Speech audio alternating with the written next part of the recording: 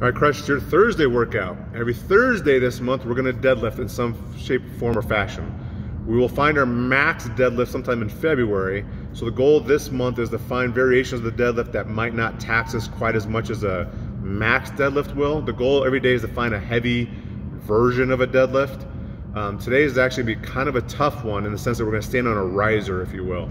And we're gonna make that deficit even harder to squat down and get it the biggest point I want to make with this is that we really need to make sure we brace ourselves and use that good form and not just bend over more to get that deadlift, but rather try to squat more to get that deadlift. The goal is to use your legs to stand that weight up off the ground, not your lower back. And if we add these risers, in this case we're gonna stand on a 25 pound plate, so a little bit of a riser, not a big one, an inch, inch and a half. Um, but the goal is not to bend over more and use our back more to stand it up, but try to squat more to try to stand that weight up and hopefully that saves your lower back. We're gonna take 20 minutes to find a heavy set of five, I think it is, off that 25 pound plate.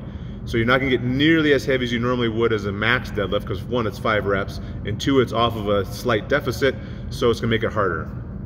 When we're done with that, we're gonna put those those plates away and we're gonna get out a lighter deadlift. The prescribed weight for today's weight uh, workout is 135.95. Pretty straightforward, 30, 20, 10, 30 box jumps, 30 deadlifts, 30 sit-ups. 20 box jumps, 20 deadlifts, 20 sit-ups, uh, 10, 10, 10. Kind of a core little blaster, um, lighter weight. Again, in this part too, try not to use your lower back to pick that weight up to the ground. Use those legs, um, and that is your Thursday workout. Have a good Thursday.